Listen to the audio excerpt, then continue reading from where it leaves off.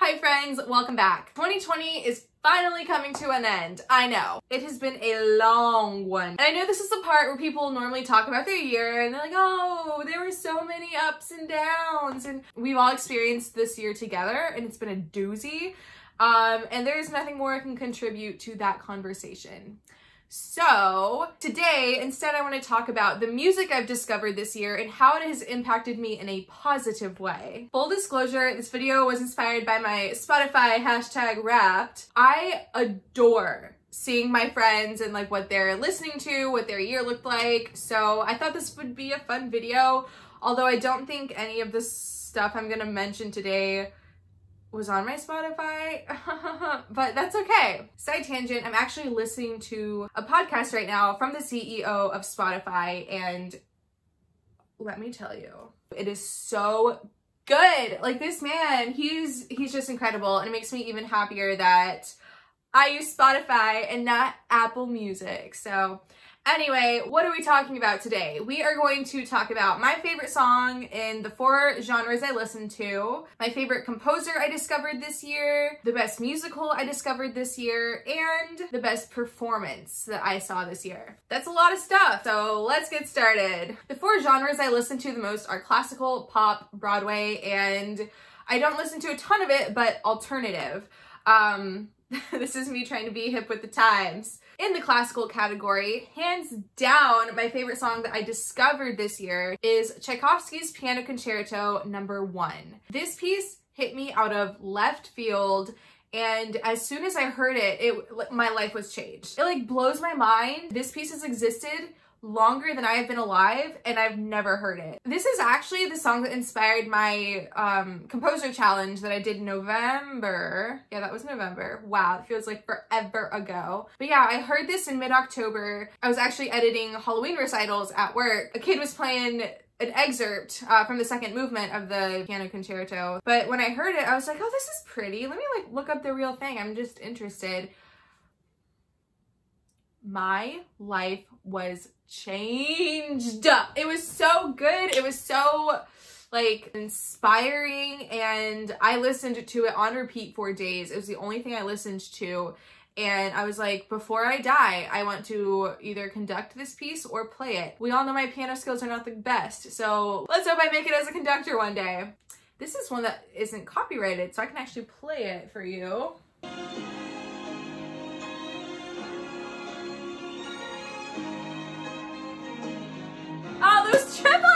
Oh, much. So that's Tchaikovsky's Piano Concerto. I encourage you to listen to the whole thing. It's so, I just feel revitalized now. So I hope you enjoy it too. Next up, we have the pop category. I wish I was more versed in the pop culture. I find it interesting. It's good stuff. I just don't listen to a ton of it. So if you have any pop recommendations, please drop them below. But this year, the best one I discovered is Simple and True by Sara Bareilles. If y'all know me at all, you know I am obsessed with Sara Bareilles. I actually discovered her first from reading her book, so I highly, highly, highly, highly, highly recommend that. It's the best book I've ever read. Anyway, Simple and True is a simple song. It's not complex. I can't like tell you, oh, the harmonies are amazing. I mean, they are, but like you listen to it and it's like nothing to write home about. What I love about it is her connection to what she is singing. And this was written, I believe, for her TV show. But when she sings it on her album, More Love, I think that's what it's called. Is it More Love? I hope it's More Love. Um, she's just so genuine and so connected. And of course she uses vocal techniques. I'm like, ooh, I want to do that. So yeah, Simple and True by Sara Bareilles. Next up, we have the Broadway category, which is by far the hardest for me to choose just one song because it's what I listen to the most. And I've discovered a lot of really good songs this year. But if I had to choose just one, it would have to be with Him by Joey Contreras. I discovered this in January or February of this year. And as soon as I heard it, I was like, this is going on my senior recital. It's so good. It's so, it's so much fun to think about getting into this character. And the last song I discovered this year is in the alternative category. Look at me being all edgy. Um, I didn't I didn't go seeking this out, but a YouTuber I follow actually put this out in the world and I listened to it and I was like, I could get down to this. Like, it's pretty cool. So it is Dandelion by Gabbie Hanna. And I love, so the line in it, so I took a breath and made a wish and blew them all away. It just hits me and it's deep and I love it. I love it.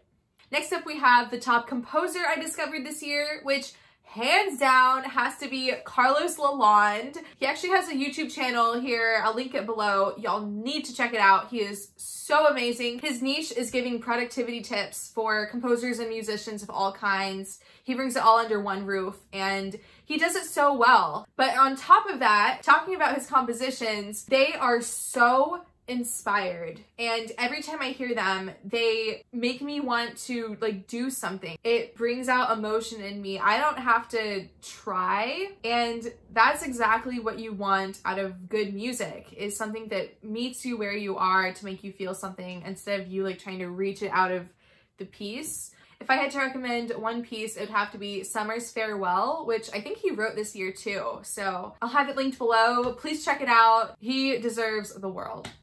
Next up, we have my favorite musical I've discovered this year. And again, this is very difficult because I love so many musicals, but if I had to choose one, it would have to be Ordinary Days. This musical wasn't written this year, but I didn't hear it in its entirety for the first time until this year. Its music is how would you describe it? It's not like frilly like, oh, this sounds pretty. The composer does well what I do terribly. Um, there's a lot of piano like staccato stuff. It's so fresh. It's not you, your typical humdrum musical. And it's also not Hamilton. from like a music theory standpoint, I've learned a lot from listening to it. And I bought the score um, a couple months ago and just analyzing it has been very fulfilling for me. So that's my favorite musical. Last but not least, we have the best performance of the year, which was very difficult to choose, as you can imagine, because there weren't very many performances. The ones that were virtual, I don't know, I'm sorry, you just, you can't get the same effect from a virtual performance as a live one. Um, with that being said, I had to look through my performance list, which I track in Notion, to uh, remember all the performances I've seen and had this year. But if you're curious about seeing this a little bit more in depth, I'm gonna have a video coming out pretty soon, I think within the next week or so, um, where I just go through this whole list. So stay tuned for that. But for my favorite performance, I'd have to say it was Waitress the Musical, which I got to see on January 16th. I had been obsessed with the music for years, and I was so lucky that a professional traveling theater company was coming right to my backyard basically and I got to see it with my two best friends in the whole world. Even though I was obsessed with the music and I listened to it all the time, it hit different in the context of the show. Seeing it live was just a different experience. I laughed, I cried, I was shocked. I still got goosebumps. I miss having that feeling, that inspiration of, of watching a performance live Hopefully we'll be able to do it soon, but who really knows? So there you have it. These were my top music discoveries of 2020.